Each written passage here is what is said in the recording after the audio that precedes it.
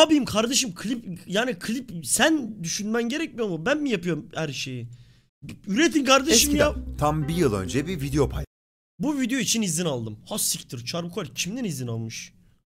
Paylaşmıştım. O zamanlar Batı Hikayesi serisi kanalın zirvesindeydi. Zula'nın düşüş hikayesi. Hala da öyle. Ama bu videonun benim için özel bir tarafı var. Çünkü ilk defa bir saat içerisinde 100 bin izlenmeye çok yaklaşmıştım. Belki de geçecektim. Ama aynı anda bir mail geldi. Mail Zula tarafından yollanmıştı. Ve videomun yalan bilgiler içerdiği söyleniyordu. Mesela batış kelimesinin asılsız olduğu belirtiliyordu. Şirketlerinin batmadığı söyleniyordu. Ben de bu kelimenin gerçek anlamını taşımadığını, düşüş yapan oyunlar için kullandığımı, bunun bir seri olduğunu belirttim. Ama nafile. Videoyu hızlıca yayından çekmemi yoksa dava edeceklerini söylediler. Kanalın ilk zirve videosu tam olarak böyle de bir gördüm. Evet, içime o kadar yer etmişti ki hiçbir zaman kanaldan silmedim. Hep gizlide tuttum. Peki şimdi ne değişti?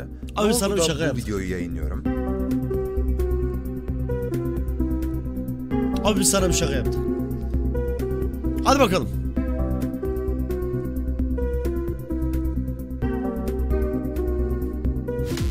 Merhaba, videoya hoş geldiniz. Ben, Ben Kuel. Kuel. Charm Kuel. Dayı nerede dayı? Tarrak marrak kolu gibi yarrak yiyen. Bak. ne 75 bin like olayını devam ettirelim de agalar bir günde 107 bin atmak ne? Peki tamam eğer 75 bin gelirse bu videoya da hızlıca ertesi güne bir video daha yetiştireceğim.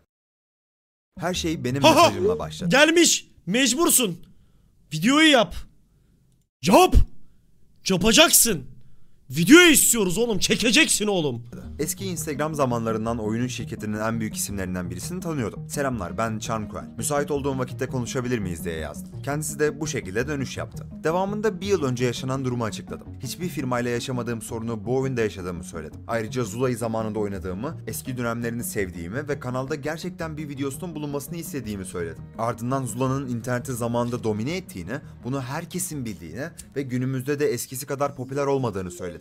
Ve bu video için izin istedim. Şimdi konuşuruz tabi ama eleştirmek ile yalan haber arasında dağlar kadar fark var. Oyun batmış olsa eleştirini kabul ederdik. Ama battı demek çok üzücü bir iddia. Emek verenler için de oynayanlar için de. Kaptan bunları söyledikten sonra ses kaydıyla batış kelimesinin o anlamda kullanılmadığını tekrar belirttim. Bana yarın dönüş yapacağını söyledi ve konuşmayı bitirdik. Ertesi gün geldiğinde videoyu yapacağımı ve iğneleyici kelimeleri çıkartacağımı söyledim. O da bana vallahi Charmguel biz kimsenin içeriğine karışmıyoruz. Ama hala TR'nin en çok kazanan oyunlarından birine battı veya düşüşte denirse sessiz kalmayız dedi. Pekala kaptan nasıl istiyorsan öyle olsun. Ben kendim bir şey demeyi planlamıyorum. Ancak siz topluluk gönderisinde bu videodan sonra oyununuz hakkında insanların ne düşündüğünü rahatlıkla görebilirsiniz. Ben topluluğun dilinden konuşmayı planlıyorum ve hazırsanız yıllar önce yayınladığım o videoyu bazı kısımları değiştirilmiş şekilde önünüze getiriyorum. Hadi bakalım. Her şey 2012 yılında başladı. Türkiye'de deneyimli iş adamları En sevdiğim yayıncı. Estağfurullah kardeşim benim. Charm Kuel mi? Yoksa ben mi? adamlarından oluşan 4 Böyle kişilik bir grup bırakayım oyun piyasasına giriş yani. yapmak Kardeş, istedi. sen amına açarken gördüğünüz Kardeşim benim aramıza hoş geldin efendim. Çok germe kendini be kanka zaten. Ne yapacaksın şimdiden bir gerginlik çıkartıp bugün tarafını seçte mi vuracaksın kanka beni yani? Bunun gerginliği mi bu? Efe Show falan yok mu ya kanka? Logodaki şu şirketleri kurdular. Bu şirketlerin arasında Medbyte Games, Locum Games gibi şirketler vardı. Şirket kurma sürecinin ardından geriye bir oyun fikri bulmak kalmıştı. Hmm. Yaklaşık bir yıl boyunca oyuna bir konu düşündüler ve temasını kesinleştirdiler. Akıllarına gelen ilk fikir Türk bir FPS oyunu yapmaktı. Bunun nedeni ise Türkiye'de oynanan tüm FPS oyunlarının yabancı kaynaklı olmasıydı. Tamamen Türkçe bir FPS oyunu piyasaya ilaç gibi gelecekti. 2013'te oyunun kalıbı oluşmaya başladı. 2014'te ise oyunun tasarımlarının çoğu tamamlanmıştı. En azından deneme için oynanabilir bir haldeydi. Ve yılın sonuna doğru Uf, erken erişim testleri için Kadıköy'de bulunan Zokko isimli internet kafeye gidildi. Oradaki oyunculara ilk defa Türk yapımı bir FPS oyunu yapıldı diyerek oyunun ilk sürümünü oynattılar. Oyuncular oynadıkları bu oyunu beğenmişti. İlk yorumlar iyiydi. Ve daha da önemlisi bu bir Türk oyunuydu. O dönem için gerçekten iyi bir şeydi bu. Harbiden iyiydi Sonrasında lan. tekrardan şirkete dönüldü ve çalışmalara devam edildi. Karar verilmişti. Oyun çıkacaktı ama bir sıkıntı vardı. O dönemlerde War Team hala deli gibi oynanıyordu. Peki Zula bu engeli nasıl aştı?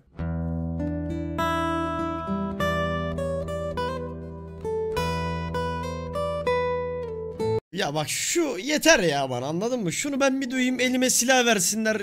Çatışayım kanka şu. Yeter ya bana.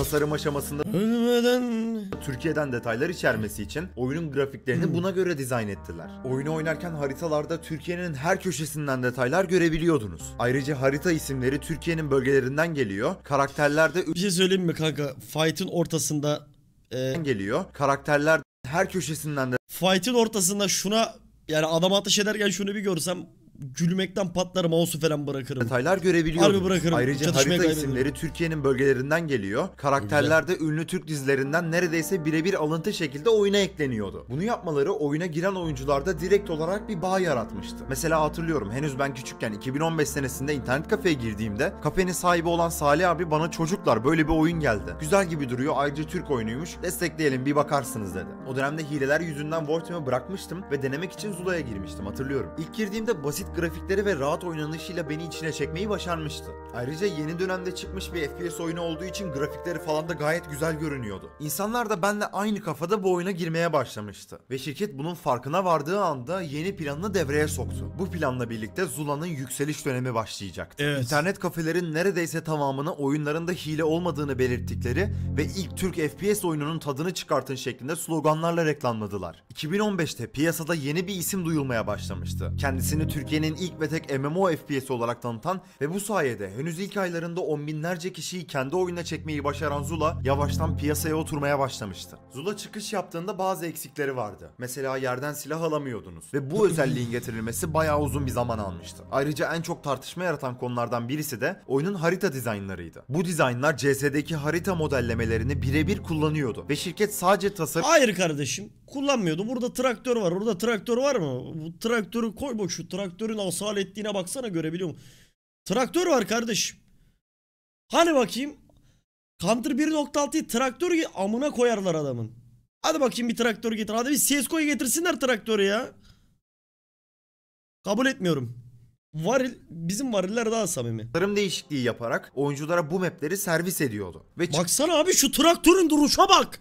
Şu traktörün oradan bir pik at bakayım bir.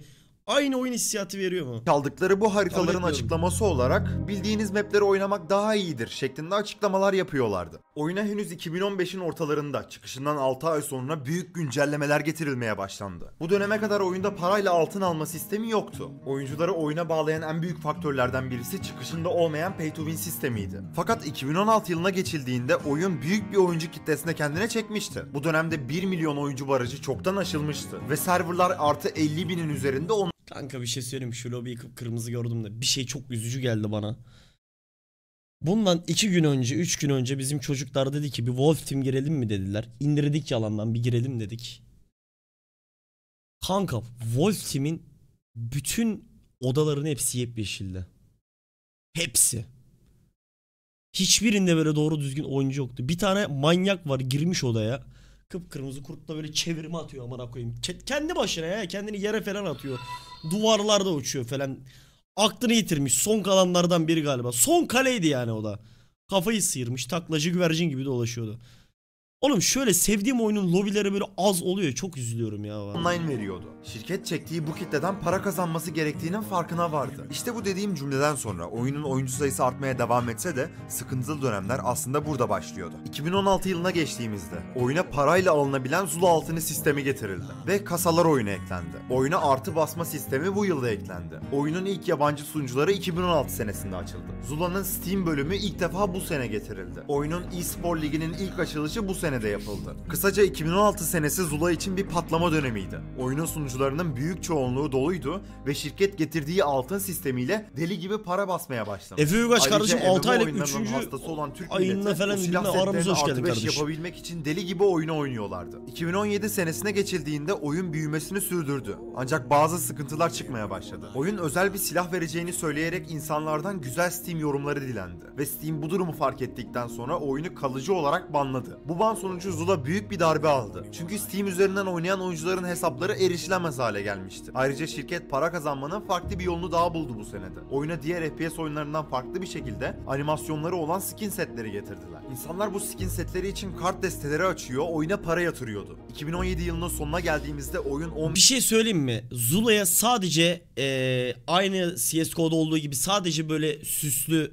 AK skinleridir, ıvırdır zıvırdır getirseler de yani oyunda mesela diyelim ki işte 100 TL alıyorsun daha iyi silahım oluyor seni öldürebiliyorum olmasaydı yemin ediyorum şu an piyasanın belki top tier oyunlarından biriydi hala daha ya. Deli gibi insanların hepsi oynuyordu. Çünkü karşı tarafta ne insana zarar veriyor biliyor musun? Karşıdaki zengin züppe çocuğu Sen de gariban böyle amına koyayım internet kafede 1 liralık aşırmış zar zor oynuyorsun. O böyle sıcacık yatağında amına kodumu 200-300 lira baba baba baba bana para versene deyip oradaki hepsininle birlikte silah alıyordu.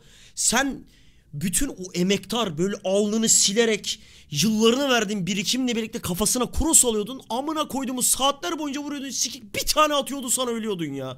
Belki de bu yüzden insanlar kızdı onlara ya.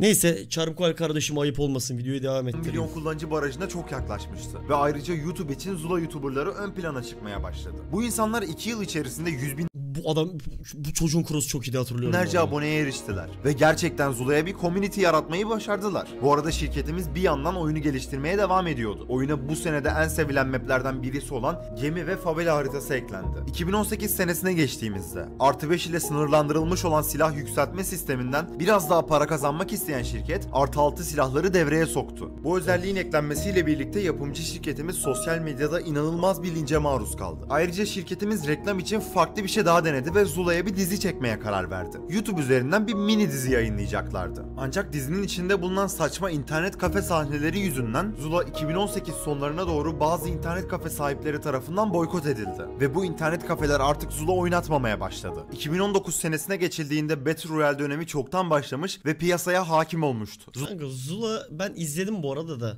Yani Zula'nın o yani filminden dizisinden etkileyip o Zula'da 31 çekiyorlardı ben de çekeyim atayım falan yapmamıştır herhalde birileri ya. Yani 4-5 arkadaş toplanıp kanka gel biz de aynı sahneyi canlandıralım. Zula let's go falan yapmamışlardır herhalde. Bu kadar manyak olamazlar ya insanlar. Zula haritalarda yaptığı gibi bu olayı da İnşallah yani kopyalamayı seçti ve bir basın lansmanı düzenledi. Bununla birlikte büyük bir haber olarak Zula'ya kısa bir süre içerisinde Battle Royale modunun ekleneceğini söylediler. Ancak bunun Bunu söylenmesi oynadım. sıkıntıları beraberinde getirdi. Çünkü sosyal medyada oyunla ilgili büyük bir algı oluşmuştu. Oyun pay to win olduğu için çok fazla karşıtı vardı ve yeni getirilecek PUBG çakması modun asla tutmayacağını söylüyorlardı. Bu damgayı üzerlerinden atmak için 2019'da Zula altını ile alınabilecek neredeyse her şey oyunun kendi parasıyla da alınabilir hale geldi. Yani bir nebze pay to win'in önüne geçilmek istendi. 2020 yılına geldiğimizde koronanın başlamasından önce oyunun sunucuları hala full çekiyordu. Bu döneme kadar pay to win dense de oyunun artı basma sistemi insanları oyuna kitlemiş, bağımlısı yapmıştı. Ancak koronadan sonra kapanan internet kafeler oyunun sunucularının %70'inin boşalmasına sebep oldu. Ayrıca Zula Battle Royale'i unutmadılar. 2020'nin sonuna doğru oyunu çıkarttılar. Ancak şirketimiz gecikmişti. Çünkü artık Battle Royale furyası o eski günlerinde değildi. Hype'ı çoktan geçmişti. Sonrasında PUBG Mobile'in yükselişiyle birlikte Zula'nın mobil oyununu geliştirmeye karar verdiler. Ancak o da çıktıktan sonra başarısız oldu. 2021 yılına geldiğimizde Covid yüzünden internet kafelerin kapatılma kararı alındı. Bununla birlikte boşalan oyun sunucuları eskiden oynayan büyük bir kitlenin Zula'nın bu sefer gerçekten bittiğini düşünmesine sebep oldu. Bu sene getirilen artı 7 silah basma sistemi büyük bir tepkiyi doğurdu ve buradan geri dönüş yoktu. Sosyal medyada artı 7 eklendi oyun bitti gibi paylaşımlar yapılmaya başlandı. Artık Zula sosyal medya popülaritesini kaybediyordu. Eski Zula YouTuberları saydığım bu nedenlerden dolayı oyunu bırakma kararı almıştı. Ayrıca oyunun gerçek parayla dönen silah takas sistemi yönetimin içerikleri ucuzlatmasıyla birlikte kepek kapattı. Artı 7 silahlara ulaşmak çok kolaydı. Çünkü 100 lira veriyordunuz ve size deli gibi materyal veriyorlardı. Tüm bu nedenlerle birlikte Zula sosyal medya gücünü kaybetti. Ve topluluk sekmesinde gördüğünüz bu veriler tam da bunun göstergesiydi.